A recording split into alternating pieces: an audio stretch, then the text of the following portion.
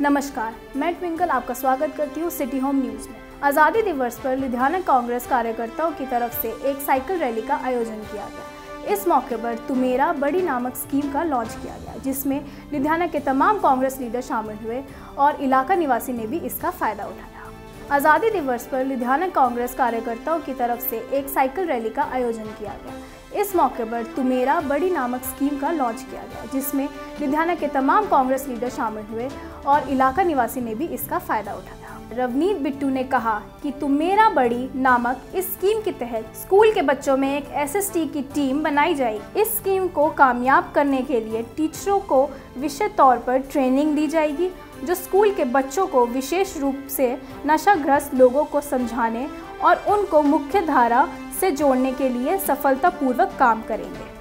15 ਅਗਸਤ ਵਾਲੇ ਦਿਨ ਲੁਧਿਆਣੇ ਤੋਂ ਸ਼ੁਰੂ ਕੀਤਾ ਤੂੰ ਮੇਰਾ ਵੱਡੀ ਇਹ ਪ੍ਰੋਗਰਾਮ ਦਾ ਮਕਸਦ ਕੀ ਆ ਵੀ ਜਿਹੜਾ ਪਹਿਲਾਂ ਅਸੀਂ ਸ਼ੁਰੂ- ਸ਼ੁਰੂ ਕੀਤਾ ਸੀ ਨਸ਼ੇ ਦੇ ਖਿਲਾਫ ਤੁਹਾਨੂੰ ਪਤਾ ਸਾਰੀ ਜਗ੍ਹਾ ਉਹਦੇ ਮੈਂਬਰ ਬਣੇ ਸੀਗੇ ਉਹ ਇੱਕ ਜਿਹੜੇ ਡਰੱਗਸ ਦੇ ਵਿੱਚ ਫਸ ਚੁੱਕੇ ਆ ਜਾਂ ਆਲੇ ਦਾਲੇ ਜਿਹੜਾ ਕੋਈ ਨਸ਼ਾ ਤਸਕਰ ਆ ਵੇਚਦਾ ਨਸ਼ਾ ਉਹਦੇ ਲਈ ਉਹ ਡੈਪੋ ਨਾਂ ਦਿੱਤਾ ਸੀ ਡੈਪੋ ਵੱਲੋਂ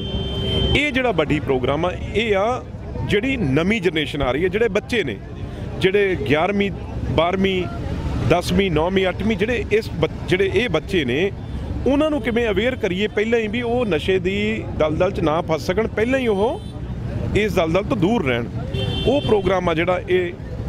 ਪਹਿਲਾਂ ਤਰਨਤਾਰਨ ਜ਼ਿਲ੍ਹੇ ਦੇ ਵਿੱਚ ਸ਼ੁਰੂ ਹੋਇਆ ਸੀ। ਇਹਦੀ ਥੋੜੀਆਂ ਉੱਥੇ ਇਹਨੂੰ ਸ਼ੁਰੂਆਤ ਕੀਤੀ ਤੇ ਅੱਜ ਸਾਰੇ ਪੰਜਾਬ ਦੀ ਸ਼ੁਰੂਆਤ ਜਿਹੜੀ ਕੈਪਟਨ ਅਮਰਿੰਦਰ ਸਿੰਘ ਜੀ ਨੇ, ਮੁੱਖ ਮੰਤਰੀ ਜੀ ਨੇ ਕੀਤੀ ਆ। ਤੇ ਹੁਣ ਸਾਰੇ ਸਕੂਲਾਂ ਦੇ ਵਿੱਚ ਟ੍ਰੇਨਰ ਜਾਣਗੇ। ਹਰ ਪੰਜ ਬੱਚੇ, ਉਹ ਹਰ ਕਲਾਸ ਦੇ ਵਿੱਚੋਂ, ਹਰ ਸੈਕਸ਼ਨ ਦੇ ਵਿੱਚੋਂ ਪੰਜ ਬੱਚੇ ਪਹਿਲਾਂ ਵੱਡੀ ਬਣਾਏ ਜਾਣਗੇ। ਫਿਰ ਅੱਗੇ ਸਾਰੇ ਕਲਾਸ ਦੇ ਵਿੱਚ ਉਹ ਜਿਹੜੀ ਇੱਕ ਸਿੱਖਿਆ ਦਾ ਪ੍ਰੋਗਰਾਮ ਆ, ਜਿਹੜਾ ਅਵੇਅਰਨੈਸ ਦਾ ਪ੍ਰੋਗਰਾਮ ਆ, ਉਹ ਚੱਲੇਗਾ। ਤੇ ਮੈਂ ਸਮਝਦਾ ਇਹ ਬਹੁਤ, ਇਹ ਇਹ ਕੋਈ ਇੱਕ ਦੇ ਦੋ ਦਿਨ ਦਾ ਪ੍ਰੋਗਰਾਮ ਨਹੀਂ, ਇਹ ਤਾਂ ਕੰਟੀਨਿਊਸਲੀ ਪ੍ਰੋਗਰਾਮ ਚੱਲੇਗਾ, ਇਹਦੀ ਸ਼ੁਰੂਆਤ ਹੋ ਗਈ ਤੇ ਹਰ ਕਲਾਸ ਦੇ ਵਿੱਚ ਟੀਚਰਾਂ ਨੂੰ ਨਾਲ ਮਾਸਟਰ ਕੋਚਿਸ ਤਿਆਰ ਕੀਤੇ ਜਾ ਰਹੇ ਆ, ਜਿਹੜੇ ਮਾਸਟਰ ਕੋਚਿਸ ਜਾ ਕੇ ਅੰਦਰ ਜਾ ਕੇ ਪਹਿਲਾਂ ਟ੍ਰੇਨਿੰਗ ਦੇਣਗੇ ਟੀਚਰਸ ਨੂੰ, ਹੋਰਾਂ ਨੂੰ ਤੇ ਕੰਮ ਚੱਲੇ ਅਮਨਦੀਪ ਕੇ ਸਾਥ, cameraman Abhishek, bureau report city home news